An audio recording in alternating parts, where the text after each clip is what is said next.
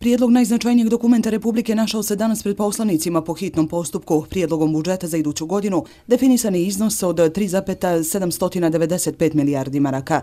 Opozicija je kritikovala pojedine stavke izdvajanja u budžetu za poljoprivredu, zapošljavanje demobilisanih boraca, penzionere, demografsku obnovu, ali i izdvajanja za kulturu i sport.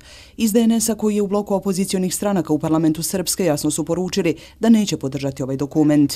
Ovim budžetom smanjujemo grantove, smanjujemo subvencije ovim budžetom ne podržavamo razvoj i tešku situaciju nerazvijenih opština. Ovim budžetom ukidamo kulturu, ovim budžetom uništavamo sport, ovim budžetom ugrožavamo turizam.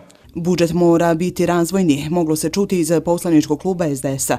Iznijeto i to da je budžet za narednu godinu previše optimističan, jer njegovo punjenje, kažu kako su naveli poslanici SDS-a, nije realno uprkos očekivanjima vlasti. Nema novih kapaciteta, nema novih radnih mjesta.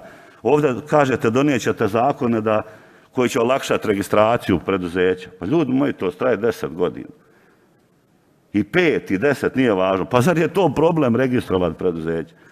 Ali ko će donijeti kapital sa tim preduzećem? Gdje su vam ozbiljni investitori? Evo, ja ću opet navesti Srbiju. Preozbiljni investitori. Šta je pojenta? Šta radi Srbija? Ajmo vidjeti mi pa da dovučemo dvije fabrike ovdje. Ne budu gdje hoće da se o tome priča.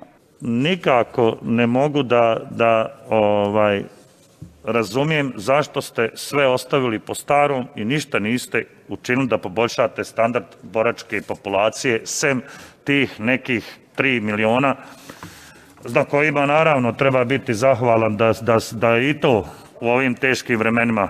Ali moje skromno mišljenje je da ste imali prostora mnogo u ovome budžetu da razgovarate i da skinete sa javne potrošnje, da skinete, e, gledam samo koliko je zaposlenih do sljedećeg rebalansa će sabrati sve novce koje dajete za po raznim ministarstvima. Premijer Radovan Višković kaže da primanja iz budžeta kada je riječ o boračkim kategorijama trebaju imati oni koji to zaista zaslužuju, jer su i u boračkoj organizaciji Srpske priznali da ima onih koji nepravedno primaju određena sredstva. Godišnji borački dodatak ne treba da prima predsjednik vlade, ministar, poslanik, načelnik, gradonačelnik, i tako dalje.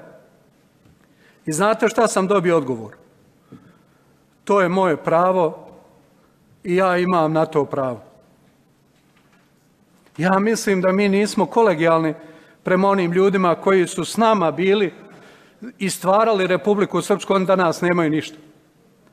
Ti ljudi su pomogli da mi budemo poslanici, ministri, premijeri, direktori i tako dalje i tako dalje. Uslijedila je tokom rasprave o prijedlogu budžeta i žustra polemika u parlamentu. Čitao sam ovaj budžet.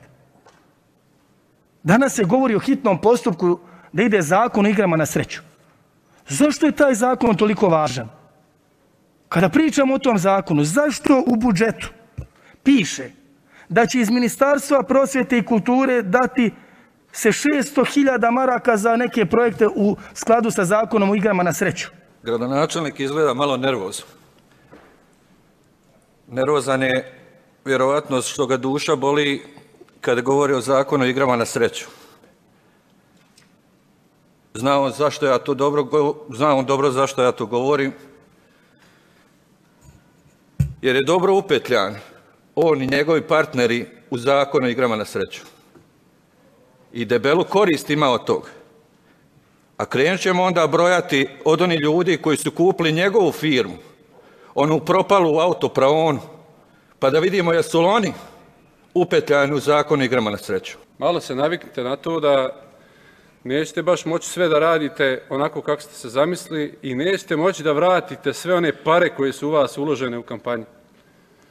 Blizu 2 miliona maraka uloženo u vašu kampanju. I znamo ko su sve uložili ljudi u vašu kampanju i znamo koji sve klanovi i koje finansijski interes stoji za vaše navodne pobjede. Privreda kao i zdravstvo apsolutno nisu zanemareni, rekla je u Narodnoj skupštini Zora Vidović, govoreći o prijedlogu budžeta Srpske za 2021. godinu. Za privredu će, rekla je ona, biti izdvojeno oko 400 miliona maraka. Rekla je da su novim budžetom prije svega napravljene uštede na planu materijalnih troškova. Sa neto zaduženjem manjim nego u prošloj godini, javni dug biti manji za 8,8 procentnih poena u odnosu na maksimalu ili 19% će biti manji od maksimalno dozvoljenog duga, a ukupan dug bit će manji za 3,5 procentnih poena ili 6% manji od ukupnog duga. Prema tome vodimo računa. Mjere će biti ciljane kako bi privreda ali i zdravstvo bili očuvani. Planirano i povećanje penzija, što je značajno ako se imaju u vidu posljedice pandemije, rečeno je tokom današnjeg zasjedanja.